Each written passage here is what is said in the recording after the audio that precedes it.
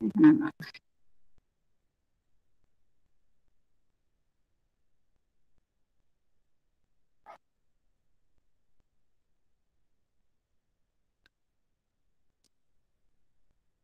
झाली? सगळ्यांची प्रेझेंटी झाली? हा. आता चला आपण स्टार्ट करूया. बरं. सगळेजण प्रिपरेशन करता का रे? करताय त्यांनी येस म्हणा जरा. आपले दोन लेसन कंप्लीट झाले. All of you hear me हा. कोण कोण प्रिपरेशन करताय जरा बघूया. आपले दोन लेसन मुलांना कंप्लीट झालेत. एक लेसनचं प्रिपरेशन झालं असे किती जण आहेत? दुसऱ्यापर्यंत पोहोचलेत असे किती जण आहेत?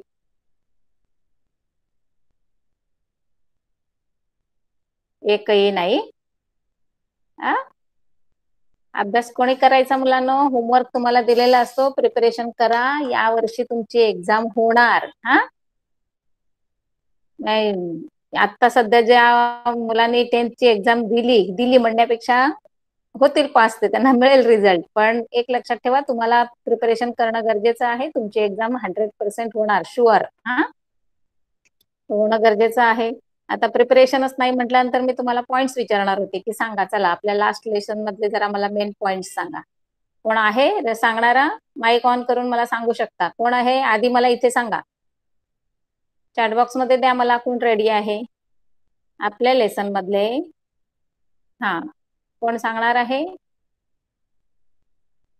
नाही. कीर्तन माहितीये तुम्हाला? कीर्तन. एकटाच बुवा बोलत असतो बाकीचे ऐकत असतात. तसा झालाय प्रकार तुमचा. हा? तुम्ही प्रिपरेशन करायचं आहे मुलांना. खूप इम्पॉर्टंट आहे कारण तुम्ही नाही केलं तर काहीच येणार नाही मुलांना. एक सांगून ठेवते बघा. एक ऍज अ टीचर म्हणून मला एवढं कळतंय की टीचरनी कितीही चांगलं शिकवलं काही केलं तरी मुलांनी जर केलं नाही तर मात्र काहीही येणार नाही तुम्हाला हा हे अगदी ट्रू आहे म्हणून सांगते तुम्हाला. आणि आता ही सुरुवात आहे तर तुम्हाला हे करणं गरजेचं आहे. कारण तुम्ही जर आत्तापासून म्हणजे नाही म्हटलं तरी आपण महिनाभर झाला आपण लेक्सन म्हणजे आपलं लेक्चर चालू आहे आणि एका महिन्यामध्ये दोन लेसन आपण कंप्लीट केलेले आहेत. म्हणजे तसा स्पीड पण आपण घेतलेला नाहीये. फार स्लो प्रोसेसने चाललेलो आहोत. तर एक लक्षात ठेवायचं आहे एवढ्या स्लो जाऊन जर तुम्ही प्रिपरेशन करत नाही तर नंतर तुमचा सिलेबस असा फास्ट म्हणजे जेव्हा तुमचं स्कूल सुरू होईल की नाही तेव्हा तुमचं सगळं फास्ट सुरू होईल. मग तेव्हा तुमचं कसं होईल? जर आता तुम्ही थोडं थोडं केलेलं असेल तर तुम्हाला ते इझी जाणार आहे. आणि डिफरन्स काय असतो ते सांगते. आता तुम्ही नाईन्थ पर्यंत सेमिस्टर वाईज स्टडी करत होतात. आता तुमचा फुल्ली इयरली तुमचा स्टडी असणार आहे. तर ते थोडंसं तुम्हाला अवघड जात असतं. आणि तेवढ्यासाठी हे तुम्हाला ऑनलाईन लेक्चर खूप म्हणजे बेनिफिशियल आहे. तर तुम्ही त्याचा किती बेनिफिट घेता हे तुमच्यावर राहणार आहे. हा? आता ऍज अ टीचर म्हणून सांगते परत एकदा की आमचं काम आहे तुम्हाला मस्तपैकी छान एक्सप्लेन करणं समजावून देणं आणि पुढचं सगळं तुमच्यावर डिपेंड आहे. म्हणजे तुम्हाला जर खूप चांगला रिझल्ट हवा असेल एक्सपेक्टेड असेल तर त्याच्यावर तुमची मेहनत खूप इम्पॉर्टंट रोल प्ले करणार आहे. आणि तुमचे डाऊट्स काय असतील ते तुम्ही आम्हाला नेक्स्ट लेक्चरमध्ये विचारू शकता. म्हणजे पहिलं एक तुमचं आहे की तुमचे डाऊट्स क्लिअर केले जातील आणि नंतर आपल्या टॉपिकला सुरुवात होईल. तर तुम्ही प्रिपरेशनच करत नसाल तर तुमच्याकडे डाऊट्स नसणारच आहेत हंड्रेड पर्सेंट हा? तर मग हा तुमचा लॉस आहे मुलांना कारण इथे आम्ही सगळं तुम्हाला भरभरून द्यायला तयार आहोत. पण तुम्ही मात्र असं लेझी किंवा असे केअरलेस दिसता एकंदरीत. तर तसं राहू नका ही सुरुवात आहे. आतापासून जरी सुरुवात केली तरी तुम्हाला फायनल रिझल्ट खूप चांगला मिळू शकेल. ऑल द बेस्ट सगळ्यांना. आता हे जे काही मी तुम्हाला आज एक छोटासा टॉपिक शिल्लक ठेवला होता का? तर हे सगळं प्रॅक्टिकल बेसवर होतं. आणि हे तुम्हाला तुमचं जर्नल असतं की नाही सायन्स टूचं त्याच्यामध्ये तुम्हाला हे एक प्रॅक्टिकल म्हणून तुम्हाला एक एक्सपेरिमेंट म्हणून ठेवलेलं आहे. ते काय आहे? तर एक थोडस एक्सप्लेन करते की ही एक ओनियल स्टीप आहे तुमची आणि ती एक स्लाइड असते. आणि ही स्लाइड आपण मायक्रोस्कोप खाली बघत असतो. तर आता आपण जो स्टडी केला तो सेलचा स्टडी केला आणि सेल डिव्हिजन केलं. त्याच्यामध्ये ज्या काही तुम्हाला मायटोसिस आणि मिओसिस मी शिकवलं तर तुम्हाला ह्या चार पाच स्टेप्स दाखवलेत बघा की सेल डिव्हिजन कसं होतं. वरची जी डायग्राम आहे त्याच्यामध्ये तुम्हाला सगळं दिलेलं आहे. मग त्याच्यामध्ये हॅप्लॉइड सेल डिप्लॉइड सेल हे आता तुम्हाला फुल्ली मी एक्सप्लेन केलेलं आहे. मग ते कशा प्रकारे म्हणजे सेल डिव्हिजन होतं हे दाखवणारा हा तुमचा एक्सपेरिमेंट आहे. कळतंय सगळ्यांना? आणि तेवढ्यासाठी मी फक्त तो एक्सप्लेन केला नव्हता. बाकी तुम्हाला याच्यामध्ये असं सांगण्यासारखं काही नाही. ही प्रोसिजर म्हणजे काय? तर ते कसं घेतलं जातं कसं केलं जातं? आणि तुमचं डायग्राम मधनं तुम्हाला ते क्लिअरली एक्सप्लेन करायचं असतं की म्हणजे तुमचं थोडंसं ऑब्झर्वेशन की सेल कसा असतो न्यूक्लियस असतो नंतर मग ते कसं अट्रॅक्ट होतं म्हणजे त्याचं स्पिंडल फायबर कसं होतं? स्पिंडल फायबर एकमेकांना एंड पॉइंटला कसे खेचले जातात? आणि नंतर सेल डिव्हिजन होत असतं. हा झाला आपला एक एक्सपेरिमेंटचा पार्ट आणि हा आपल्या लेसनचा एंड होता. अगदीच खूप घाईने एक्सप्लेन करायला नको म्हणून मी मागच्या वेळेला तो ठेवून दिला होता. आणि आता आपला तोच म्हणजे चॅप्टरचा तोच पण सेकंड पार्ट आहे. Life process in living organism part two आपण पार्ट वन बघितला होता. Chapter number two life process in living organism part one झाला होता. की ज्याच्यामध्ये सेल डिव्हिजन ऍक्च्युली तुमचं म्हणजे सेल डिव्हिजन कसं होतं तुमची ग्रोथ कशी होते? म्हणजे थोडक्यात सांगायचं आहे लिव्हिंग थिंगच्या बाबतीत कसं होत असतं. आणि आता सेल डिव्हिजन झाल्यानंतर आता पुढचा पार्ट आहे तो कम्प्लिटली सगळा रिप्रोडक्शनशी रिलेटेड आहे. मग आता रिप्रोडक्शन काय असतं? तर तुम्हाला त्या ब्रॅकेटमध्ये बॉक्समध्ये दिलेलं आहे बघा खूप मस्त आहे. म्हणजे आता तुम्हाला ह्याच्यातनं खूप छान कळणार आहे. जर तुमचं या लास्ट लेक्चरमध्ये मी जे शिकवलं सेल डिव्हिजन ते जर तुम्ही खूप छान असं स्टडी केलं असता प्रिपेअर्ड केलं असतं तर आता तुम्हाला समजलं असतं की रिप्रोडक्शनचे जे दोन टाईप आहेत ते कसे म्हणजे होत असतात आणि ऍक्च्युली तेव्हा काय नक्की घडत असतं. तर बघा पहिलं आहे रिप्रोडक्शन सेक्शुअल आणि असेक्शुअल आता या एकाच पॉइंटवर आज आपला एक लेक्चर होणार आहे. कॅन यू रिकॉलमध्ये काय सांगितलंय बघा तुम्हाला? Which are the important life process in living organism आहेत कोणाला माहिती? माहिती असेल तर मला चॅटबॉक्समध्ये लिहून द्या. आणि which life process are essential for the production of energy required by the body हे लास्ट लेक्चरशी रिलेटेड आहे. तिसरा क्वेश्चन आहे तुमचा. Which are main type of the cell division and what are the differences हा लास्ट लेक्चरशी related आहे. आणि what is the role of chromosomes in cell division म्हणजे एक लक्षात घ्या मुलांनो जेव्हा आपण काहीतरी शिकतो की नाही त्याचाच तुम्हाला पुढचा नेक्स्ट पार्ट म्हणून येत असतं. तर लास्ट लेक्चरमध्ये शिकवलेलं जर तुम्ही मी शिकवताना कळलं असेल शिवाय तुम्ही प्रिपरेशन केलं असेल दोन तीन वेळा लेसन रीड केलं असेल तर तुमचं जवळजवळ ते फिफ्टी पर्सेंट ऍब्सॉर्ब होतं तुमच्यामध्ये. तर ते आणि मग आता तुम्ही मला ह्या क्वेश्चनचे आन्सर देऊ शकला असता. इजंट इट आता डायरेक्टली मी एक्सप्लेन करते कारण तुमच्याकडनं मला काही आन्सर मिळणार नाहीत. आता ह्या सगळ्याच्या सगळ्या प्रश्नांची उत्तरं मी तुम्हाला आता एक्सप्लेन करता करता देते. एक सगळ्यात महत्त्वाचा फार छोटे आणि साधे प्रश्न आहेत हे तुमचे. की जे आपले इम्पॉर्टंट लाईफ प्रोसेस काय आहे? थोडक्यात सांगायचं आपण लिव्हिंग थिंग आहोत. आपल्या लिव्हिंग थिंगमध्ये सगळ्यात महत्वाचं असतं न्यूट्रिशन दुसरं असतं ग्रोथ तिसरं असतं मुवमेंट ह्या सगळ्या ज्या प्रोसेस आहेत ह्या टप्प्याटप्प्याने येत आहेत. ऑफकोर्स या मेन रोल आहेत ना. मग ह्याच्यामध्ये काय आहे? तर आपल्याला एनर्जी लागते. मग एनर्जी कुठून मिळते? ग्लुकोज मधनं ग्लुकोज कुठून मिळतं? फूड मधनं. फूडमध्ये काय काय असतं? व्हेरियस टाइप्स ऑफ न्यूट्रियन्स असतात आणि ते सगळे न्यूट्रियन्स मी तुम्हाला शिकवलेले आहेत की कशातनं काय मिळतं किंवा आफ्टर डायजेशन कशातनं काय कन्व्हर्ट होतं. आणि त्याच्यानंतर मग आलो आपण मेन सेल डिव्हिजन की मायटॉसिस आणि मिओसिस आता ह्याच्यामध्ये पण मी तुम्हाला मायटॉसिस सांगितलं होतं की टाईप ऑफ सोमॅटिक सेल आणि मिओसिस म्हणजे तुमचे जर्म सेल्स जे रिप्रोडक्शनशी रिलेटेड आहे आणि आजचा आपला टॉपिक आहे तो कम्प्लिटली रिप्रोडक्शनशी रिलेटेड आहे. आणि त्याच्यानंतर of course cell division cell डिव्हिजनमध्ये main असतं ते न्यूक्लियस न्यूक्लियसमध्ये काय असतं? डीएनए आणि डीएनए मध्ये काय असतात? क्रोमोझोम्स आणि मग तेच क्रोमोझोम्स कशा प्रकारे म्हणजे कॉम्प्रेस होत आहेत कशा प्रकारे थ्रेड एक स्ट्रक्चर बनतं एकमेकांकडे केलं जातं. त्याच्या फाय स्टेजेस ज्या मी तुम्हाला सांगितल्या होत्या डिव्हिजनच्या त्या. हे अख्खा सगळा जो लास्ट लेक्चर मी तुमचं घेतलं होतं सेल डिव्हिजन त्या चार प्रश्नांमध्ये तुम्हाला सगळं त्यांनी विचारलेलं आहे. पुढे बघा काय सांगितलं. We have studied various life process in previous classes all those life process that is nutrition, respiration, excretion, sensation and response. That means control and coordination, etc. are essential to each living organism to remain alive. Besides these life process, one more life process occurs in living organism that is reproduction. म्हणजेच तुम्हाला हे अगदी पाचवी सहावी पासून मुलांना शिकवत आलेले आहेत की कुठल्या प्रोसेस आहेत. म्हणजे living थिंगसाठी nutrition respiration expression sensation and response खूप इम्पॉर्टंट रोल प्ले करतात.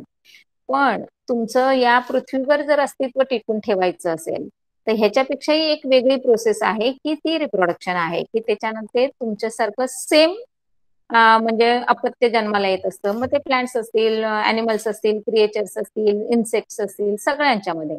रिप्रोडक्शन होतच असतं. मग ते कसं होतं? काय होतं? ते आज आपण बघणार आहोत.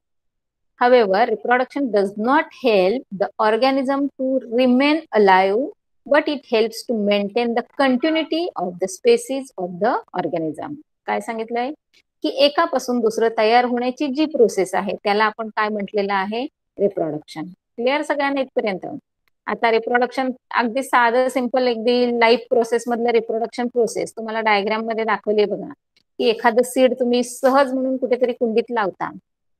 त्याच्यामधनं ते जर्मिनेशन जी प्रोसेस म्हणतो ती टप्प्याटप्प्याने होत असते मग ती कशी होते? त्या सीड मधनं हे अंडरग्राऊंड रूट्स कसे तयार होतात आणि अपवर्ड डायरेक्शनने प्लॅन्ट कसा तयार होतो तेही तुम्हाला दाखवलेलं आहे. एक हेनचं चित्र दाखवलंय. की जे काही ती अंड देते ती अंड देण्याची प्रोसेस काय आहे? कशा प्रकारे तिच्या बॉडीमध्ये ते केलं जातं? दॅट इज कॉल्ड रिप्रोडक्शन आणि दुसरं दिलेलं आहे खाली तुम्हाला अमिबा की अमिबा हा अगदी साधा एक पेशीय म्हणतात ना त्याला सिंगल सेल्युलर तसं आहे. तरीही त्याच्यामध्ये रिप्रोडक्शन होत आहे मग ते कसं होत असतं? अशा बऱ्याचशा गोष्टी तुम्हाला ह्या डायग्राम मधनं सांगितलेल्या आहेत. आणि तेच आता आपण बघणार आहोत.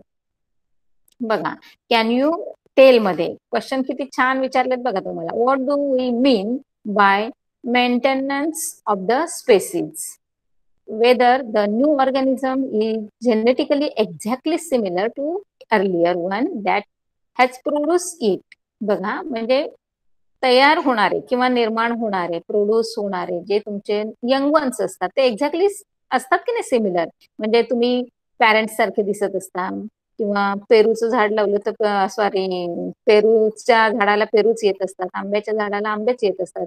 एका कुंडीमध्ये तुम्ही अशा खूप प्रकारच्या सीड्स टाकल्या तरी त्याचं प्रत्येकाचं एक स्पेसिफिक कॅरेक्टर असतं ते ते दाखवतातच ना? का सगळे एका मातीत आहेत म्हणून असं कॉम्बिनेशन होतं तयार?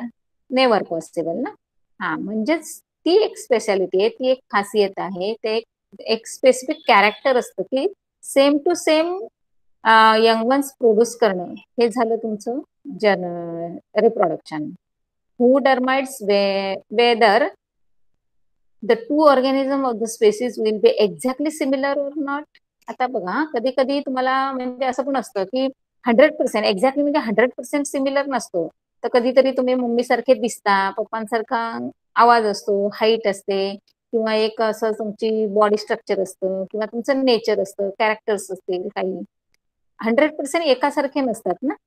थोडा तर काहीतरी त्याच्यामध्ये डिफरन्स असतो. What is the relationship between the cell division and formation of new organism of the same species by earlier existing organism आणि मग हेच तुम्हाला आता शिकायचं आहे की हे सेल डिव्हिजन होताना ते कशा प्रकारे येत असतं? फर्स्ट लेसनमध्ये आपण जेनेटिक्स शिकलेलो आहोत की जेनेटिक्स किती इम्पॉर्टंट रोल प्ले करतं. मग ते सगळ्यांमध्ये आलं. ऑल लिव्हिंग थिंग्समध्ये आलं ते. तेच आता तुम्हाला रिप्रोडक्शनमध्ये प्रूव्ह करायचंय किंवा रिप्रोडक्शनमध्ये तुम्हाला ते शिकायचं आहे की त्या जेनेटिक्सचा किती इफेक्ट असतो बघा. जेव्हा न्यू वन किंवा यंग वन्स प्रोड्यूस होत असतात तेव्हा त्यांच्यामध्ये येणारे स्पेसिफिक कॅरेक्टर कोणावर डिपेंड असतात बघा. Formation of new organism of the some species by earlier existing organism is called as the reproduction आतापर्यंत मी तुम्हाला खूप रिप्रोडक्शनच्या दोन तीन डेफिनेशन सांगितल्या. पण जेव्हा तुम्हाला रिप्रोडक्शनवर काहीतरी एक्सप्लेन करायचं असेल किंवा डिस्क्रिप्टिव्ह आन्सर द्यायचं असेल तर तुम्हाला ही डेफिनेशन खूप महत्वाची आहे. कळते formation of new organism of same species by earlier existing organism is called as the reproduction सायन्समध्ये जेव्हा तुम्हाला डेफिनेशन विचारल्या जातात तेव्हा तुमचे बुक मधलं जे काही वर्ड आहेत की नाही म्हणजे थोडक्यात सांगायचे सायंटिफिक वर्ड जे म्हणतायत ते आले पाहिजेत. आपली सटर फुटर भाषा किंवा तुम्ही तयार केलेलं जे असतं ते चालत नाही एक्सेप्ट केलं जात नाही. क्लिअर जर टेक्स्टबुक असतील तर थोडंसं मार्किंग करा किंवा तुम्ही जेव्हा वाचाल तेव्हा तुम्ही आज शिकवलेल्या पार्टमध्ये मी ज्या पार्टवर तुम्हाला फोकस केलंय किंवा असा स्ट्रेस दिलेला आहे तर ते तुम्ही बघायचं आहे आणि मार्किंग करून ठेवायचं आहे म्हणजे नेक्स्ट टाइम तुम्ही रिडिंग करत असताना तुम्हाला ते प्रकर्षाने लक्षात येईल. Clear reproduction is one of the various important character of living organism मी लाईफ प्रोसेस सांगितली तुम्हाला त्याच्यामध्ये तुम्हाला अगदी न्यूट्रिशनपासून ग्रोथपासून रेस्पायरेशनपासून ते कंट्रोल अँड कोऑर्डिनेशन सगळ्या गोष्टी सांगितल्या. पण आता ह्या लेसनमध्ये आपण जे करणार आहोत ते रिप्रोडक्शनचा स्टडी करणार आहोत. त्यामुळे आता तुमचा जो मेन पार्ट आहे तो रिप्रोडक्शनशी रिलेटेड आहे. That is reproduction is one of the various important characters in living organism It is also one of the various reasons responsible for evolution of the each species. आता last lecture first lesson खूप इव्हॉल्युशनबद्दल आपण खूप असं deeply explain केलेलं आहे. आणि प्रत्येकाचं इव्हॉल्युशन कसं होतं? किती वर्ष लागली होती? किती वेळ लागला होता? तेही तुम्हाला सांगितलेलं आहे. In living organism reproduction offers mainly by two methods underline this line these two methods are asexual and sexual reproduction. That means there are two types of reproduction. First one is asexual and second one is sexual. तर आज आपण जो काही study करणार आहोत तो फक्त asexual कारण त्याच्यामध्ये वेरियस टाइप्स आहेत सब टाइप्स आहेत आणि एक्झाम्पल पण तुम्हाला खूप आहेत तेवढा एकच टाईप तुम्ही बघितला तर कमीत कमी तीन ते चार मार्काची तुमची तयारी होईल कारण असेक्शुअल रिप्रोडक्शन हा तुमचा एक अख्खा क्वेश्चन येत असतो तुम्हाला आणि त्याच्यामध्ये खूप सारे पार्ट आहेत. आणि शिवाय तो प्रॅक्टिकलशी पण रिलेटेड आहे. कारण तुमचं जर्नल आहे त्याच्यामध्ये तुमचं असेक्शुअल रिप्रोडक्शन आणि सेक्शुअल रिप्रोडक्शन याच्यावर दोन एक्सपेरिमेंट आहेत. तर पहिलं आहे पार्ट बघा असेक्शुअल रिप्रोडक्शन कशाला म्हणायचं? काय आहे?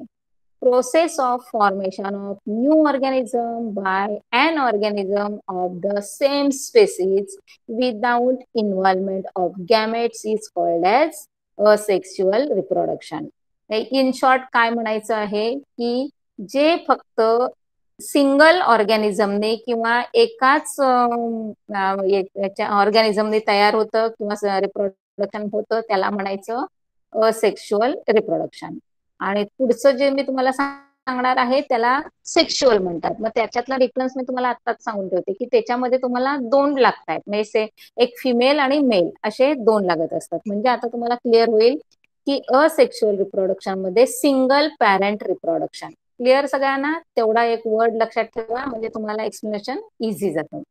आणि तुमचं वर्डिंग असंच राहणार आहे की process of the formation of new organism by an organism of the same species त्या सेम स्पेसिसला अंडरलाईन करायचे. Without involvement of gametes is called as sexual reproduction as this reproduction does not involve union of two different gametes. Clear? दोन पॅरेंट्सची तिथे गरज लागत नाही. Single पॅरेंट्सने reproduction होऊ शकतं. The new organism has exact genetic similarity with the reproducing organism. Of course, single parent असल्यामुळे त्या पॅरेंटचे हंड्रेड पर्सेंट सगळे जेनेटिक्स ज्या सिमिलॅरिटीज आहेत त्या तुम्हाला यंग वनमध्ये येतच असतात किंवा मिळतच असतात. This is uniparental reproduction uniparental uniparental reproduction and it offers by mitotic cell division clear झालं सगळ्यांना? कोणत्या टाईपचा आहे? कारण खूप असा ऑब्झर्वेशन तुमचं किंवा तुमचं जनरल नॉलेज चेक करण्यासाठी what type of the cell division occurs in the asexual reproduction तर लक्षात ठेवायचं आहे मायटॉटिक आहे. क्लिअर सगळ्यांना? तो वर्ड लक्षात ठेवा आणि थोडस कुठे बुक असेल तर त्याला अंडरलाईन करून ठेवा. कारण एक एक वर्ड वर तुम्हाला एक मार्क्स असतो. Absence of genetic recombination is drawback whereas fast process is advantage in this reproductive method आता लास्ट पॉइंट त्यांनी काय सांगितलेलं आहे की ही जी असेक्च्युअल रिप्रोडक्शनची प्रोसेस आहे ती फास्ट होत असते as compare to the sexual reproduction कारण सेक्शुअल रिप्रोडक्शनमध्ये एक लॉंग म्हणजे एक ठराविक पिरियड लागतो. आणि त्याच्यानंतर मग ते यंग वन तुमचे प्रोड्यूस होत असतात. पण असेक्शुअल रिप्रोडक्शनमध्ये मात्र सगळं हे झटपट होत असतं. त्यामुळे त्यांची प्रोसेस आहे त्याला नाव दिलंय त्यांनी फास्ट किंवा fast process in advance of this reproduction method इथपर्यंत क्लिअर आहे? आता त्याच्यामध्ये तुम्हाला बरेचसे टाईप्स असणार आहे.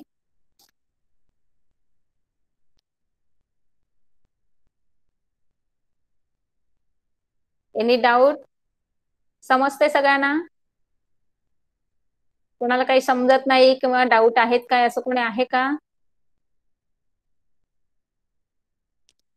आवाज येतोय माझा सगळ्यांना?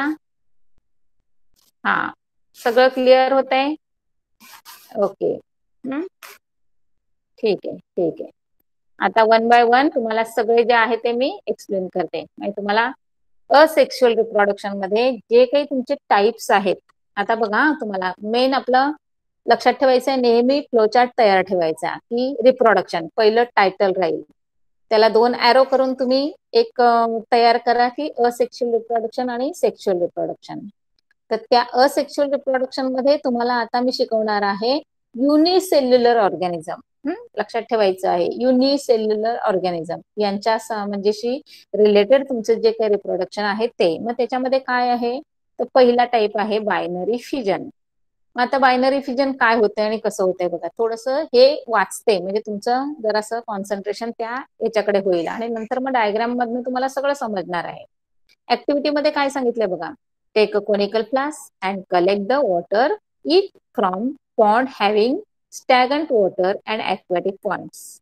Add some uh, wheat grains and aquatic plants to it. Keep it for two, two, three, four days so that the wheat grains and the plants will decompose. Early in the morning, on the fourth day, take the glass slide and put a drop of the water over it carefully. Put a cover sleeve on the drop and observe under microscope. You will have you will uh, you will be able to see many paramecium performing the binary fusion. आता बघा हे एक साधं म्हणजे तुम्हाला काय activity सांगितली? Actually काय आहे ते मी तुम्हाला सांगते बघा. की हे सगळे जे आहेत हे कुठेतरी साचलेल्या पाण्यामध्ये म्हणजे तुमचं फ्लोईंग वॉटर असतं की नाही त्याच्यामध्ये तुम्हाला हे सगळ्या गोष्टी मिळत नाहीत. तर तुमचं डबक्यातलं तळ्यातलं खड्ड्यातलं जे साठलेलं पाणी असतं की नाही त्याच्यामध्ये हे सगळे तुमचे अॅनिमल वाढत असतात. आता हे सगळे आहेत हे तुम्हाला मायक्रोस्कोप मध्येच बघावे लागतात कारण ते युनिसेल्युलर आहेत. असे आपल्या नुसत्या नेकेड ते आपल्याला दिसत नाहीत. मग आता त्यांना बघायचं असेल तर ती जी स्लाइड आपली परमनंट स्लाइड आपण जी युज करतो ती कशी बनवली जाते? त्याचीही तुम्हाला ऍक्टिव्हिटी दिली.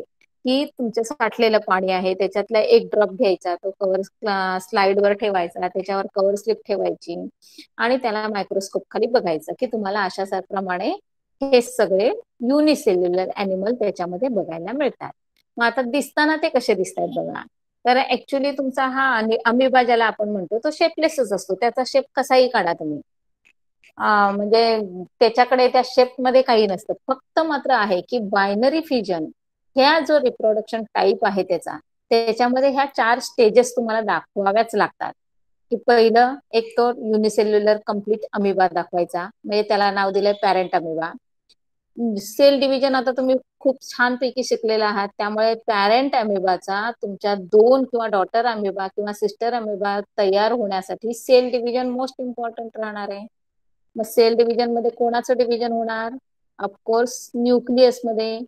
त्यामुळे तुम्हाला सेकंड डायग्राममध्ये तो न्यूक्लियस कुठेतरी लांब झाल्यासारखा दाखवलाय बघा.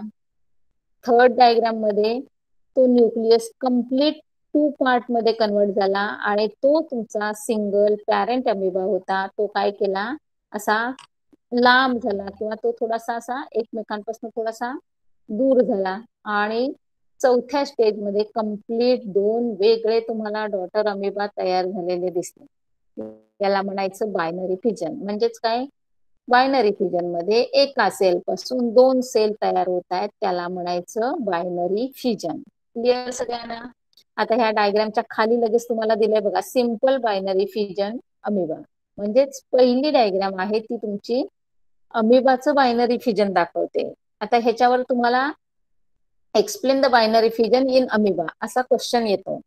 आणि तीन मार्क्सला क्वेश्चन असतो. तर तुम्हाला डायग्राम काढून एक्सप्लेन करायचं असतं. तरच तुम्हाला तीन मार्क मिळतात. म्हणजे वन अँड हाफ मार्क तुमचा डायग्रामला असतो and one and half mark तुमचा एक्सप्लेनेशनला असतो. त्यामुळे छोटे छोटे जे प्रश्न तुम्हाला विचारले जातात किंवा ह्या रिप्रोडक्शन लेसनमध्ये जेवढे तुम्हाला डायग्राम्स आहेत त्या खूप इम्पॉर्टंट आहेत. कारण तुमचं प्रत्येक प्रश्नाचं उत्तर हे तुमचं विथ डायग्राम असणं गरजेचं असतं. क्लिअर आता इथे बघा. हा आहे तुमचा paramecium transverse binary fission in paramecium आता एक लक्षात ठेवायचं आहे की बायनरी फिजनमध्ये पण त्यांनी तीन टाईप सांगितले आता हे तुम्हाला नाही शक्यतो विचारत पण अगदीच एखादा म्हणजे मुलगा तुमच्यातला खूप असा हे म्हणजे हुशार असेल आणि त्याला असं सगळंच काहीतरी शिकायची इच्छा असेल तर त्याच्यासाठी सांगून ठेवते की अमिबामध्ये होणारं बायनरी फिजन आहे ते सिंपल टाईपचं आहे. आणि ह्याच्यामध्ये जे पॅरामिशियम आहे त्याच्यामध्ये होणारं आहे त्याला नाव दिलेलं आहे ट्रान्सवर्स आहे प्रकार बायनरी फिजनचाच पण त्याच्यामध्ये आहे ट्रान्सवर्स बायनरी फिजन का? तर तो कसाही कट होत नाहीये. स्लीपर शेप असतो तो तुमचा पॅरेंट पॅरामिशियम आणि तो नेहमी तुमचा असा आडवा कट होतोय बघा त्याला. मला डायग्राममध्ये दिसत असेल. त्याला असा उभा कट घेतलेला नाही. त्यामुळे ट्रान्सवर्स बायनरी फिजन दाखवताना तुम्हाला याच पद्धतीने डायग्राम काढायचे आहे. आता त्याच्यामध्ये बघा न्यूक्लियस आहे. पहिली डायग्राम तुमची पॅरेंट पॅरामिशियम आहे. दुसऱ्यामध्ये न्यूक्लियस त्याचा थोडासा मोठा झालाय. तिसऱ्या डायग्राममध्ये तो फाक एकमेकांपासून दूर गेलाय आणि कुठेतरी त्यांच्यामध्ये पार्टिशन तयार होण्याची प्रोसेस चालू आहे. चौथ्या डायग्राममध्ये दोन कंप्लीट तुमचे सेल डिव्हिजन झालंय. आणि पाचव्या डायग्राममध्ये तुमचं डॉटर पॅरामेशियम तयार झालेले दाखवलेत. क्लिअर सगळ्यांना? हा मग ह्याला म्हणायचं आहे transverse binary fission in paramecium. आणि त्याच्यानंतरचं आहे हे पण बायनरी फिजन पण मात्र ते आहे युगलिनामधलं. आणि त्याचा टाईप आहे? Longitudinal binary fission clear? तीन डायग्राम तुम्हाला दिलेले आहेत. तिन्ही डायग्राममध्ये तुम्हाला तीन एक्झाम्पल दिलेले आहेत. पहिला आहे simple binary fission in amoeba दुसरा आहे transverse binary fission in paramecium and third one is longitudinal binary fission in euglena आता लॉंगिट्युडनलचं मिनिंग बघा. इथे तुमचा कट कसा होतोय? असा व्हर्टिकली होताना दिसतोय. क्लिअर सगळ्यांना? पहिलं पॅरेंट युगलेना सेकंड डायग्राममध्ये त्याला दोन टेंटॅकल्स आले त्याचा न्यूक्लियस दोन पार्टमध्ये डिव्हिजन होत आलाय. थर्डमध्ये कंप्लीट त्याला एक खाच पडली फोर्थ डायग्राममध्ये ते कंप्लीट दोन सेपरेट होण्यात पार्टेशन तयार झालं. आणि तुमच्या सिक्स डायग्राममध्ये काय केलं त्यांनी? दोन तुमचे डॉटर युगलीना तयार झालेले दाखवले. क्लिअर सगळ्यांना? आता हे सगळं तुम्हाला जर करायचं असेल तर पहिल्यांदा तुमचं हाताखालून जाणं खूप गरजेचं आहे. अजून सध्या तुमच्या शाळा काही सुरू नाहीयेत तर आमच्याकडनं जो होमवर्क मिळतोय तो तुम्ही जर नोटबुकमध्ये तयार केला तर तुमची एक नोटबुक तयार होईल मुलांना. सगळ्यात महत्वाचं वाचणं आणि ड्रॉ करणं लिहिणं खूप महत्वाचं असतं. कारण तुम्ही एकदा का ड्रॉ केलं की तुमच्या ते दहा वेळा वाचल्याच्या बरोबर असतं. त्यामुळे आजचा होमवर्क तुम्हाला काय असणार आहे? असेक्शुअल रिप्रोडक्शन मधले हे बायनरी फिजन त्याच्यामध्ये हे तीन टाईप तीन एक्झाम्पल प्रत्येकाने ड्रॉ करून आपल्या वहीमध्ये ठेवायचे आहेत. कळलं? आता याच्यामध्ये काय काय आहे ते बघा. प्रोकॅरिओट्स म्हणजेच बॅक्टेरिया प्रोटिस्ट म्हणजे amoeba paramecium euglena and eukaryotic cell organelles like mitochondria and chloroplast perform asexual reproduction by binary fission clear सगळ्यांना? तुम्ही सिम्पली लक्षात ठेवायचं आहे की हे बायनरी फिजनमध्ये दिसतं पॅरामेशियममध्ये दिसतं आणि युग्लिनामध्ये दिसतं. तर एवढं सिम्पली तुम्ही लक्षात ठेवायचे. बस. जास्त डीपमध्ये गेलात तर कन्फ्युजन होईल. पुढे बघा. In this process reproduction by binary fission in this process the parent cell divides to form two similar daughter cells. Binary fission occurs either by mitosis or amitosis. बघा मायटॉसिसच आहे. जिथे जिथे तुमचं असेक्शुअल रिप्रोडक्शन आहे तिथे तुम्हाला मायटॉसिस सेल टाईपचं सेल डिव्हिजन दिसते. किंवा काही वेळेला अमायटॉसिस. पण मिओसिस हा वर्ड तुम्हाला नाहीये इथे. क्लिअर वाचताना खूप केअरफुली वाचायचं आहे. प्रत्येक वर्डला आपण आता मी महत्त्व देत असतो. त्यामुळे एखादा चुकीचा वर्ड जर तुमच्या आन्सरमध्ये आला तर तुमचा आन्सर रॉंग होत आता axis of fission division is different in the different protist example काय दिलंय बघा? Amoeba divides in any plane due to lack of specific shape amoeba मध्ये तुम्ही कसंही त्याला दाखवू शकता का? तो शेपलेस आहे. Hence it is called as simple binary fission paramecium paramecium is divide by transverse binary fission whereas euglena is longitudinal binary fission is usually performed by living organism during favorable conditions. Underline that word favorable conditions. म्हणजेच binary fission केव्हा perform होतं? तर living ऑर्गॅनिझममध्ये त्यांच्यामध्ये कुठेतरी favourable conditions त्यांच्या मिळाल्या form झाल्या available झाल्या तर होत असतं. That is availability of the abundant food material clear सगळ्यांना?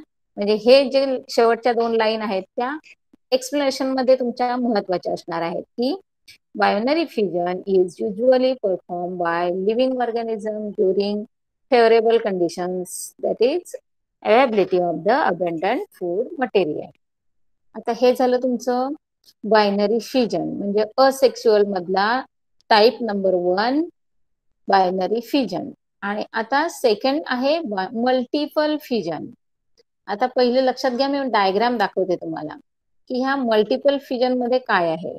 आता इथे तुम्हाला पुन्हा अमिबा दिसतोय बघा. कळतंय? आणि त्याच्यातनं एका वेळेला या चौथ्या डायग्राम मधनं तुम्हाला बऱ्याचशा डॉटर अमिबा बाहेर पडताना दिसतात बघा. म्हणजेच ही डायग्राम तुम्हाला काय दाखवते? Multiple fission in amoeba. Clear त्यामुळे आत्ताच लक्षात ठेवायचंय केअरफुली की बायनरी फिजन पण तुमचं अमिबामध्ये आहे. पण मात्र बायनरी फिजन म्हणजे एका सेल पासून दोनच सेल तयार झाल्या. दोनच तुम्हाला डॉटर अमिबा मिळालेल्या आहेत. क्लिअर आणि जेव्हा आता तुम्ही मल्टिपल सेल मल्टिपल फिजन शिकणार आहात तेव्हा तुम्हाला एका अमिबापासून किती तुम्हाला छोटे छोटे अमिबा तयार झालेले दिसतात ते बघा. आणि मग ती प्रोसेस कशी होते काय होते ते आता आपण शिकूया. Asexual reproduction by multiple fission is perform by amoeba and other similar protist amoeba stops the formation of pseudopodia बघा. मल्टिपल फ्युजनमध्ये नेमकं काय घडतंय? Amoeba stops the formation of pseudopodia pseudopodia म्हणजे काय? तर त्याचे शेपलेस जे भाग असतात की नाही उभे आडवे ते वाढलेले त्याला सिडोपोडिया म्हणतात. कळतंय? हे सेकवरचं तुमचं सेलचा दिसतंय ना तुमचा शेपलेस पार्ट त्याला सिडोपोडिया म्हणतात. तो काय करतोय? स्टॉप करतोय. म्हणजे थोडक्यात काय आहे? त्याचं फॉर्मेशन स्टॉप होतं. Thereby movements whenever there is the lack of food or any type of adverse condition म्हणजेच काय होतं इथे? आता त्याचं सगळं तो फूड किंवा त्याला फूड तो घेत नाहीये. काय करतोय? स्वतः भोवती आता तुम्हाला डायग्राममध्ये एक्सप्लेन करते बघा. की ते शेप कसा झाला त्याचा? राऊंड शेप झाला. क्लिअर सगळ्यांना?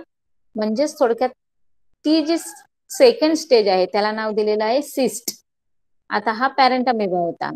त्याच्यामध्ये त्यांनी सिडोपोडिया होत्या त्या स्टॉप केल्या. म्हणजे त्याच्या त्या सिडोपोडियाचा काय झालं? एक राऊंड तयार झाला. म्हणजे शेपलेस होता तो सर्कलमध्ये आला किंवा राऊंड शेपमध्ये आला. आणि त्याच्या भोवती मग आता एक कव्हर तयार झालं बघा. Division of the nucleus of the cytoplasm म्हणजे थोडक्यात काय झालं? सिस्टचं एक कव्हर तयार झालं एक राऊंड तयार झाला. It becomes surrounded and forms protective covering around plasma membrane clear सगळ्यांना? प्लाझ्मा मेम्ब्रेन सेल डिव्हिजन शिकलात तुम्ही? म्हणजे सेलचं जे आउटर लेअर आहे त्याला आपण सेल वॉल म्हणतो. आणि त्याच्या आतला जो तुमचा लेअर आहे त्याला आपण प्लाझ्मा मेम्ब्रेन म्हणतोय. क्लिअर तो काय केला त्यांनी? कव्हर केला. म्हणजेच थोडक्यात काय झाला? त्याचा एक सर्कल तयार केला. Such encysted amoeba or any other protist is called as cyst clear इथपर्यंत सिस्ट कशाला म्हटलंय त्यांनी? की शेपलेस होता तो त्यांनी राऊंड शेपमध्ये आला. त्याच्या भोवती म्हणजे थोडक्यात त्याच्या बॉडी भोवती त्यांनी काय केलं? एक कव्हर तयार केलं आणि त्या कव्हरला नाव दिलं सिस्ट आणि त्या कव्हरच्या आतमध्ये तुम्हाला अमिबा दिसतोय बघा. पुढे बघा. Many nuclear are found by repeated nucleus nuclear division in the cyst it is followed by cytoplasmic division and thus many amoebulae are form. म्हणजे छोटे जे डॉटर अमिबा तयार होतात त्यांना नाव दिलेलं आहे त्याने अमिबिली. क्लिअर सगळ्यांना? They remain encysted till there are adverse condition जोपर्यंत त्याला एक फेवरेबल कंडिशन मिळत नाही तोपर्यंत ते काय असतात? आतमध्येच असतात. Cyst breaks open or arrival of favourable conditions and many amoebulae are release म्हणजेच काय होतं? त्याच्या आतमध्ये जेव्हा खूप अमिबाच्या डॉटर अमिबा तयार होतात त्या तशाच थांबून ठेवलेल्या असतात जोपर्यंत त्याला फेवरेबल कंडिशन मिळत नाही. आणि एकदा का त्याला फेवरेबल कंडिशन मिळाली की तो काय करतो ते सिस्ट फोडतो किंवा ते सिस्ट ओपन होतं आणि आतले सगळे जे तुमचे डॉटर अमिबा आहेत ते काय केले जातात? बाहेर पडतात. आणि that process is known as multiple fission in amoeba is that clear कोणाला काही शंका आहे का याच्यामध्ये?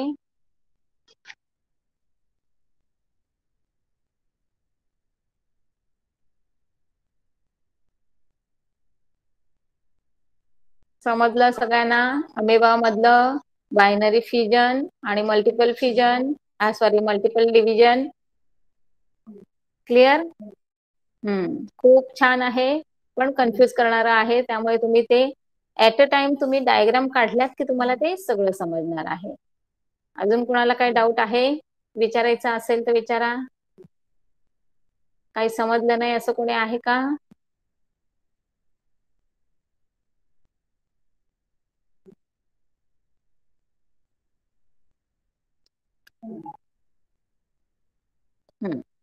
आता पुढचा पाठ बघूया. आता इथे तुम्हाला दिलेला आहे बडिंग इन ऍक्टिव्हिटी. आता तिसरा लगे लक्षात घ्या मल्टिपल फिजन झालं तुमचं बायनरी फिजन झालं. आणि आता तिसरा टाईप जो आहे तो आहे तुमचा बडिंग. आता बडिंग काय असतं बघा कोणाशी रिलेटेड आहे? एक तुम्हाला मी हे सांगते की हे सगळे जे आहेत आता हा पहिला टाईप आहे तुमचा बायनरी फिजन या बायनरी फिजन अंतर्गत अंदर तुम्हाला तीन सब टाईप मिळाले होते. त्यांचे तीन स तुम्हाला एक वेगवेगळे एक्झाम्पल दिले होते. पण मल्टिपलमध्ये मात्र तुम्हाला एकच आहे आणि तो फक्त अमिबा आहे. त्यामुळे फक्त मल्टिपल फिजनमध्ये तुम्हाला अमिबाचीच डायग्राम विचारली जाणार किंवा त्याच्यावरच तुम्हाला क्वेश्चन विचारला जाणार. आता त्याच्यानंतरचा जो तिसरा प्रकार आहे असेक्शुअल रिप्रोडक्शनचा तो आहे तुमचा बडिंग आता हा कुणाशी रिलेटेड आहे? तर जे ईस्ट म्हणतो ना आपण की बेकरी प्रोडक्टमध्ये आपण जे ईस्ट वापरतो फर्मेंटेशनसाठी ते ईस्ट आहे. त्याच्यामध्ये कशा प्रकारचे बर्ड्स तयार होतात? बर्ड म्हणजे काय असतं माहितीये? कळी. म्हणजे झाडाला एखादा नवीन कोंब तयार होतो की नाही? नवीन फांदी येते तयार होते. त्याला आपण बर्ड म्हणतो. असं हा तुमचा ईस्ट आहे.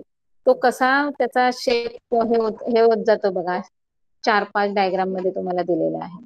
कळते म्हणजे एक तुमचे पॅरेंट इस सेल आहे. तो लांब होतो. म्हणजे त्याला थोडस ब्लजी शेप येतो. त्याच्यानंतर त्या ब्लजी शेपमध्ये त्याचा जो न्यूक्लियस आहे तो कसा तुटला जातो. दोन पार्टमध्ये होतो. म्हणजे न्यू बर्ड तिथे तयार होतं. आणि तो न्यू बर्ड मग कुठे होतोय?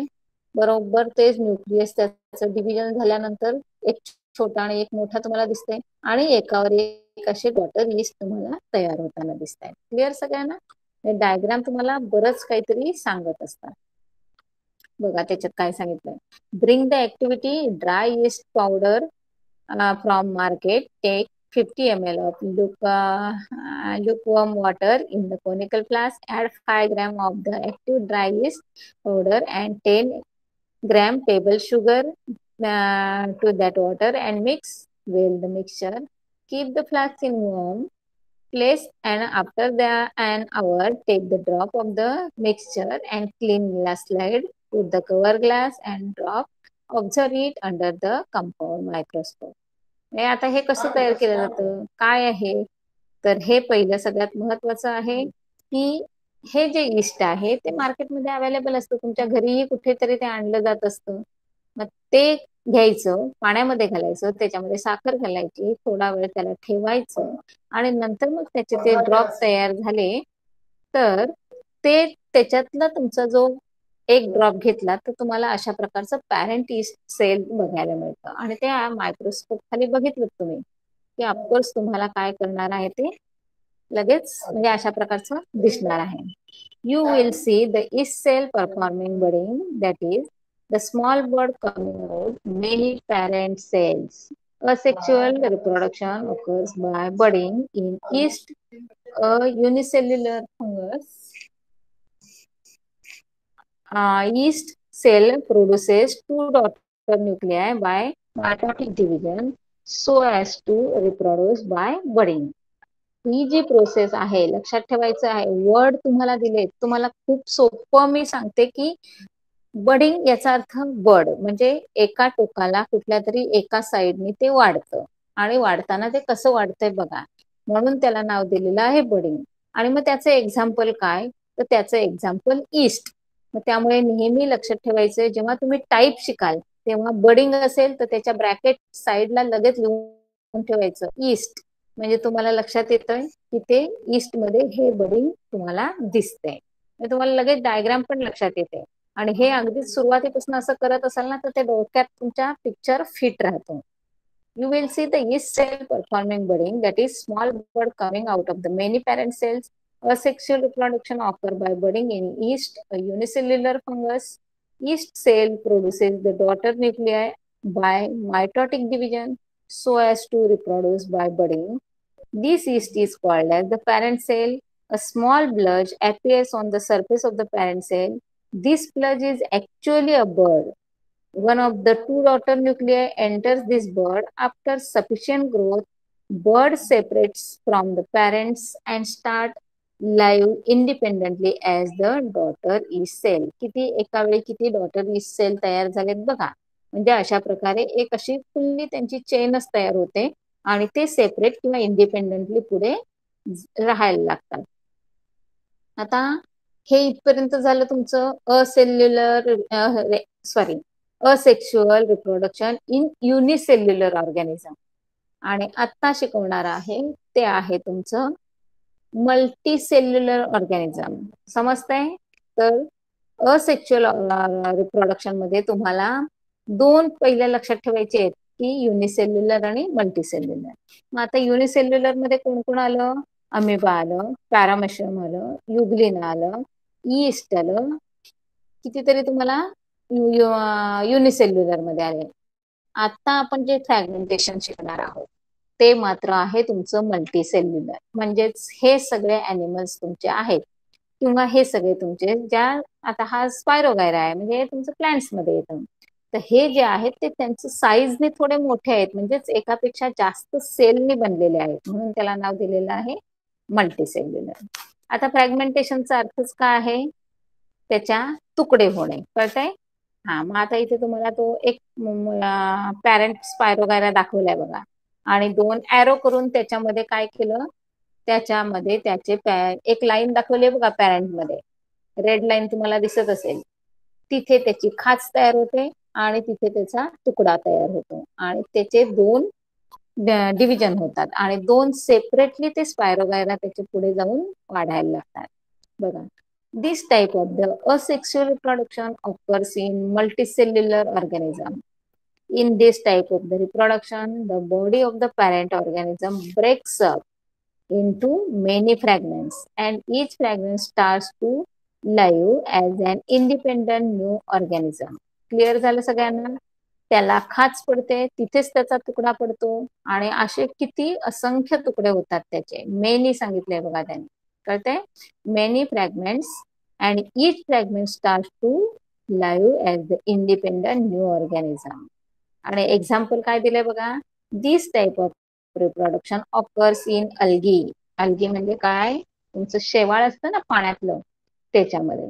आता ही झाले तुमचं प्लॅन्ट आणि त्याचं एक एक्झाम्पल तुम्हाला दिलेलं आहे spirogyra and sponge like sycon हे एक्झाम्पल तुम्ही लक्षातच ठेवायचे आहेत. तुम्हाला कुठेही हे बघायला मिळणार नाहीत किंवा ह्याचं स्पेसिफिक असं कुठे ते मला डायग्राम्स बघायला मिळणार नाहीत. फक्त तुम्हाला एक्झाम्पल लक्षात ठेवायचे आहेत की फ्रॅगमेंटेशन हे मध्ये होतं आणि अलगी मधलं एक्झाम्पल आहे तुमचं. स्पायरोगायरा स्पॉन्ज लाईक म्हणजेच सायकॉन ते शब्द आणि त्याचे स्पेलिंग जसेच्या तसे तुमच्या आन्सरमध्ये एक्सपेक्टेड आहेत whenever there is the plenty of water nutrients are available to spirogyra its fragments grow up very fast and break up into many small fragments each fragment start to live independently as the new spirogyra fibre if the body of the sycon breaks up accidentally into many fragments, each fragment develops into new cycon. म्हणजेच कशा प्रकारे त्यांचं reproduction होतंय हे तुम्हाला त्यांनी सांगण्याचा प्रयत्न केलेला आहे. फक्त लक्षात ठेवायचं आहे की हे फ्रॅगमेंटेशन हे असेक्शुअल रिप्रोडक्शन मधला मल्टीसेल्युलर ऑर्गॅनिझममध्ये होणारी प्रोसेस आहे. आणि त्याचं बेस्ट एक्झाम्पल तुम्ही लक्षात ठेवायचं आहे अल्गी क्लिअर आता आहे रिजनरेशन रिजनरेशन याचा अर्थ तयार होणे पुनर्निर्मिती होणे किंवा वाढ होणे. मग आता ती कोणाची होत असते बघा? एक तुम्हाला अॅनिमल दाखवलाय. त्याच्या शेपटीला कट आलाय बघा. कळते आणि मग तिथून त्याचा पुढे नवीन पॅरेंट किंवा दुसरा डॉटर हे बॉडी किंवा ऑर्गॅनिझम तयार झाला. त्याचं एक्झाम्पल तुम्हाला दिलंय बघा. You may know that the wall lizard break up and discard some part of it tail in emergency अगदी हे तुमच्या सगळ्यांचा एक्सपिरियन्स असणार आहे. घरामध्ये फाल दिसल्यावर आपण काय करतो? पहिलं तिला मारतो. मरते का रे ती? कधीच नाही ना? बऱ्याच वेळेला ती पळून जात असते. पण कधीतरी आपला जोराचा जो फटका असतो तो तिच्या शेपटीला लागतो. म्हणजेच ती काय करते? तिचा बॉडी पार्ट शेपटी आहे ती तिची काय करते? डिस्कार्ड करते. क्लिअर हा. मग तिची शेपटी पुन्हा कधी ती पाल तुम्हाला दिसते तर तिची वाढताना दिसते की नाही? याचा अर्थ तिथे नव्याने पुन्हा शेपटी येते म्हणून त्याला नाव दिलेलं आहे रिजनरेशन क्लिअर सगळ्यांना? Discarded part of the of is regenerated after a period this is an example of limited regeneration under certain situation an animal planaria breaks up its body into two parts हे आता हे तुम्हाला अगदी wall लिझार्डचं एक example दिलं की शेपटी तुटल्यानंतर तिची शेपटी येते परत. तसं तुम्हाला ह्या रिजनरेशनचं एक एक्झाम्पल दिलेलं आहे तेच तुम्ही लिहायचंय. कळतंय? वॉल लिझार्डचं एक्झाम्पल लिहायचं नाही. ते तुम्हाला तुमचं नेहमीच तुमचा एक्सपिरियन्स आहे म्हणून दिलेलं आहे. पण जे रिजनरेशन दाखवलेलं आहे त्या अॅनिमलचं नाव आहे प्लॅनेरिया तो काय करतो? स्वतःची बॉडी टू पार्टमध्ये डिवाइड करतो. आणि thereafter each part regenerates remaining part of the body and thus two new planaria are form म्हणजेच एकापासून त्याचे दोन तयार होतात. वरचा पार्ट आहे तो वरच्या म्हणजे त्याचा खालचा पार्ट वाढायला लागतो आणि ज्याचा खालचा पार्ट आहे त्याचा वरचा पार्ट वाढायला लागतो. समजलं? हे बॉडी टू पार्टमध्ये डिवाइड झाल्यानंतर त्या दोन पार्टचे दोन नवीन प्लॅनेरिया तयार होत असतात. आता त्याच्यानंतर आहे बडिंग. बघा बायनरी फिजन आणि बडिंग ह्याच्यामध्ये तुमचं थोडस कन्फ्युजन असतं. आता हा जो बडिंग आहे हा एक वेगळा टाईप आहे आणि कोणाशी रिलेटेड आहे? मल्टीसेल्युलर ऑर्गॅनिझमशी रिलेटेड म्हणजेच लक्षात ठेवायचं आहे की असेक्च्युअल रिप्रोडक्शनमध्ये मल्टीसेल्युलर ऑर्गॅनिझम आहेत त्यांच्यामध्ये फ्रॅगमेंटेशन रिजनरेशन आणि बडिंग असे त्याचे सब टाईप आहेत. आता हे बडिंग कोणामध्ये होतं? तर हायड्रामध्ये होतं. तर हायड्रा हा काय आहे बघा? कसा दिसतोय बघा? थोडक्यात सांगायचंय त्याचं मेन स्ट्रक्चर म्हणजेच पॅरेंट हायड्रा त्याला पण कुठेतरी त्याचा एका स्टेम सारखा भाग दिसतो तिथे कुठेतरी बर्ड तयार होताना दिसतंय बघा. हा. आणि तोच बर्ड पुढे कुठेतरी तुम्हाला नेसेंट हायड्रा म्हणजेच थोडासा तो आपला पॅरेंट प्रमाणे वाढताना दिसतोय. आणि जेव्हा त्याची पूर्ण वाढ होते तेव्हा तो पॅरेंट पासन वेगळा होतोय. क्लिअर आता ते एक्सप्लेनेशन देते बघा. In case of hydra under favourable condition at specific part of its body and outgrowth is formed by repeated divisions of the regenerative cell of body wall. This outgrowth is called as the bud. कळलं सगळ्यांना? कशाला bird म्हटलंय त्यांनी? पूर्ण सगळ्या बॉडीमध्ये कसा प्रकारे त्याचा शेप म्हणजे एक फुगीर भाग दिसायला दिसला तुम्हाला. म्हणजे थोडक्यात outgrowth is form by repeated division of the regenerative cells this outgrowth is called as bud म्हणजे त्याचा जो फुगीर थोडासा मोठा झालेला पार्ट दिसतो त्याला त्याने नाव काय दिलेलं आहे? Regenerative cell of the body wall buds grows up progressively and finally form the small hydra. Dermal layers and digestive cavity of the budding hydra are in continuity with those of the parent hydra. Parent hydra supplies nutrition to the budding hydra budding hydra separates from parent hydra and starts to lead the independent life when it grows up and becomes able to lead as the independent life म्हणजेच जेव्हा त्याची वाढ पूर्ण होते तेव्हा तो आपल्या पॅरेंट्सपासून काय केला जातो? सेपरेट होतो आणि नवीन स्वतःच लाईफ इंडिपेंडंटली जगायला लागतो. त्याच्यानंतरचा पार्ट आहे मुलांना व्हेजिटेटिव्ह प्रोपेगेशन व्हेजिटेटिव्हचं मिनिंग आहे की तुमच्या ब्रँचला म्हणजे फांदीला फांदीपासून तयार होतं किंवा रूट्सपासून तयार होतं किंवा लीपपासून तुमचं हे रिप्रोडक्शन होतं त्याला नाव दिलेलं आहे त्यांनी व्हेजिटेटिव्ह प्रोपेगेशन आता इथे तुम्हाला बरंच काय काय दाखवलंय बघा. आणि हे सगळं तुम्हाला माहिती आहे कशा प्रकारे होत असतं. Reproduction in plants with the help of vegetative parts like root stem leaf and bud कुठून कसं रिप्रोडक्शन स्टार्ट होऊ शकतं? कोणत्या पार्टपासून स्टार्ट होऊ शकतं बघा. Vegetative propagation in potatoes is perform with the help of eyes सगळ्यांना माहितीये बटाट्यात जर तुम्ही असा एक सर्टन क्लायमेटमध्ये राहिला तो बरेच दिवस तर त्याला प्रत्येक खाचेला त्याचा एक कोंब येतो बघा.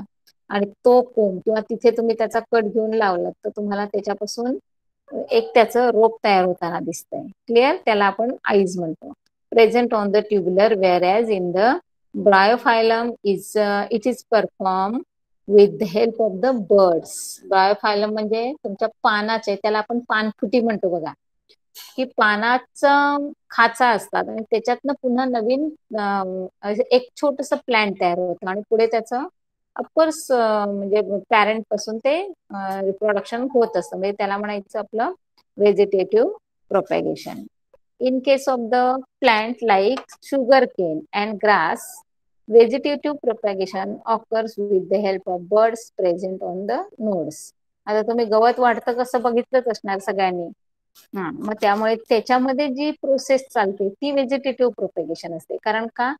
त्या गवताचं तुम्ही बघितलं तर एका रूटमध्ये त्याला बरेचसे असे नवीन नवीन किंवा असंख्य त्याची अशी रोपटे तयार झालेली दिसत आहेत याचा अर्थ काय आहे की ते जसं पसरत जातंय जसं जमिनीत जातं तसं तसं त्याचा एक गुच्छच तयार होताना दिसतं. इवन शेतामधलं तुमचं जे धान्य असतं त्याच्यामध्ये तुम्हाला व्हेजिटेटिव्ह प्रोपेगेशनच दिसत असतं. थोडक्यात काय आहे की हे सगळं जे आहे तुमचं असेक्शुअल मल्टीसेल्युलर तुमचे ऑर्गॅनिझम आहे त्यांच्यामधले हे टाईप्स झाले. आणि आता लास्ट वाला टाईप आहे आपला स्पोअर फॉर्मेशन स्पोअर म्हणजे काय? असा बॉल सारखा तुमचा एखादा हे तयार होतो शेप तयार होतो. त्याला नाव दिलेलं आहे स्पोअर फॉर्मेशन आणि हे तुमचं म्युकरमध्ये दिसत असतं. तर म्युकर म्हणजे काय? तर बुरशी असते. आता ती बुरशी बऱ्याच वेळेला आपल्या घरामध्ये आपल्या वस्तूंवर तयार होताना दिसते. फक्त आपण काय करू शकत नाही? नेकेड आईजने आपल्याला त्याचं ऑब्झर्वेशन करता येत नाही. मग आता ते कसं असतं बघा? तर पहिलं पीस ऑफ ब्रेड दाखवलाय तुम्हाला की त्याच्यावर काळ्या टाईपचं हे फंगस आलंय बघा. हा दिसतंय सगळ्यांना? ग्रीनिश लेअर दाखवलेला आहे. मग त्याच्यातला एखादा फोर्सेपने काय केला जातो? थ्रेड घेतला जातो. आणि तो मायक्रोस्कोप खाली बघितला जातो. आणि मायक्रोस्कोप खाली बघितल्यानंतर त्याचं स्ट्रक्चर तुम्हाला असं दिसणार आहे. म्हणजे रायझर्ड्स म्हणजे रूट्स दिसतात. त्याचा जो समोरचा वरचा पार्ट आहे तो हायफेज म्हणतात त्याला. वरचा पार्ट आहे ज्याला बोंड आपण म्हणतो ते आहे तुमचं स्पोअर आणि त्या स्पोअरच्या आतमध्ये आहे त्याला म्हणतो आपण स्पोरॅनजियम आणि ते स्पोरॅनजियम जेव्हा ओपन होतं म्हणजे फुटलं जातं तेव्हा त्याच्यातनं जे स्पोरॅनजियम बाहेर पडतात त्याच्यातनं खूप मोठ्या प्रमाणावर फंगस वाढलं जात असतं बघा काय आहे spore formation take a piece of the wet bread or bhakri and keep it in the humid place, fungus will grow on it within 2-3 days. Observe the fungus under the compound microscope and draw its diagram. Fungus like micro uh, mucor have filaments body. That means filament म्हणजे असे thread like structure तुम्हाला दिसेल ते they have sporangia. Once on the spore are form sporangia burst burst म्हणजे जेव्हा ती बुरशी पिकली जाते किंवा पूर्ण वाढ होते तेव्हा तिचा तो वरचा स्पो स्पोरेंजियमचा पार्ट आहे की नाही तो काय होतो? ब्रस्ट होतो फुटतो. And spores are release spores germinate in most moist and warm place and new fungal colony is form समजलं? कशा प्रकारे त्याचं होत असतं? क्लिअर सगळ्यांना? काही तुम्हाला कोणाला शंका आहे? इथे काय केलंय आपण? सेक्शु असेक्शुअल रिप्रोडक्शनचे टाईप बघितले आपण. समजलं सगळ्यांना? असेक्शुअल रिप्रोडक्शनमध्ये बरं सांगा मला आता असेक्शुअल रिप्रोडक्शनमध्ये आपण कोणाकोणाचं रिप्रोडक्शन बघितलं? युनिसेल्युलरमध्ये काय बघितलं? जरा बघूया टाईप करा. किती आठवतंय? आत्ता शिकलेलो आपण. करा टाईप चला. Asexual reproduction in unicellular organism पहिला टाईप करा.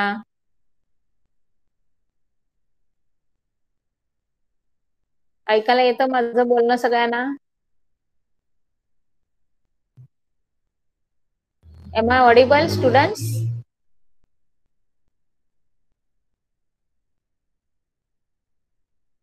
hello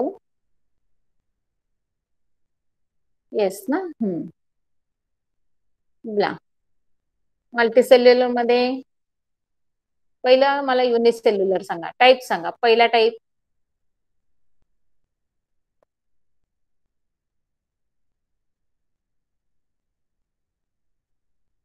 बर जसं आठवेल तसं बोला. Binary fission second multiple fission अजून पुढचं. बोला. नाही मल्टी मल्टी मल्टीसेल्युलर ऑर्गॅनिझमचं बोला.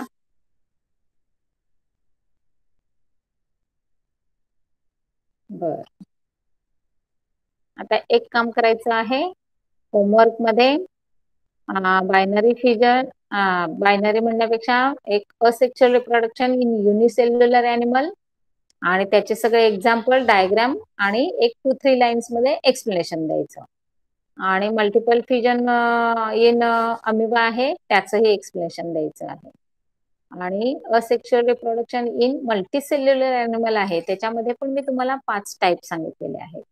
तर त्या पाच टाईपचं पण तुम्ही डायग्राम्स काढून सगळं एक्सप्लेनेशन रेडी ठेवायचं आहे क्लिअर सगळ्यांना? आणि होमवर्क तुम्ही कंप्लीट करायचं आहे जर आळस केलात होमवर्कच्या बाबतीत काहीच करत नसाल तर तुमचे हे लेक्चर म्हणजे काहीच तुम्हाला बेनिफिट देणार नाही कारण ऑनलाईन मध्ये कसं असतं मुलांना एकदा परत तुम्हाला नुसतं रिपीट करते दहा वेळा रिपीट करून आम्ही सांगत असतो तुम्ही जर केलं नाही तर आउटपुट झिरो येईल. आणि मग तुम्हाला काहीच म्हणजे असं वाटणार नाही अरे आपण वर्षभर अभ्यास केलाच नाही का आपल्याला म्हणजे मार्क्स का मिळाले नाही ते शेवटी तुम्ही रिझन शोधत बसाल. तर तेव्हा सगळा वेळ गेलेला असणार आहे. ज्याला चांगले मार्क्सने पास व्हायचं आहे त्यांनी सांगितलेला होमवर्क कंप्लीट करा आपली नोटबुक तयार करा. ओके चलो आज थांबूया आपण इथे.